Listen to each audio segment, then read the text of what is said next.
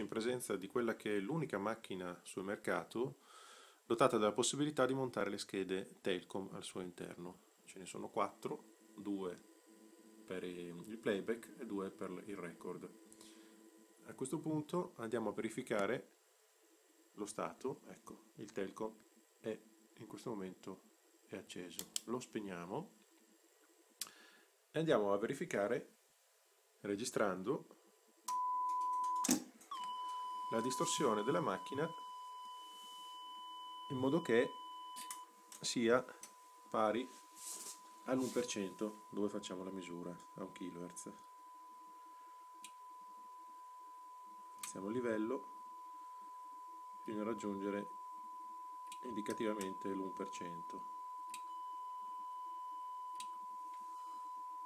Ecco, ci possiamo accontentare di un valore 0,9 che 0,809 che va bene ugualmente. A questo punto facciamo il calcolo delle su n.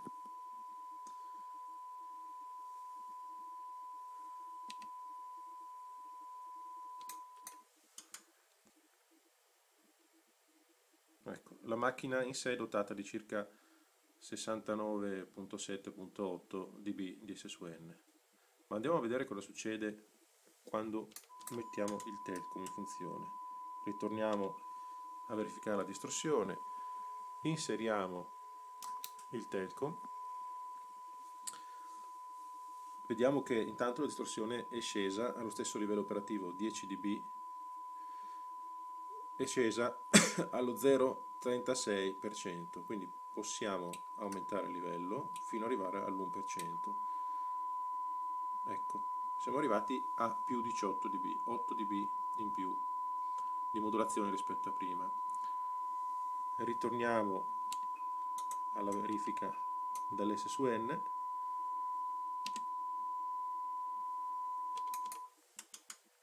A questo punto ci ritroviamo con 100 dB di S alla velocità di 38 cm al secondo.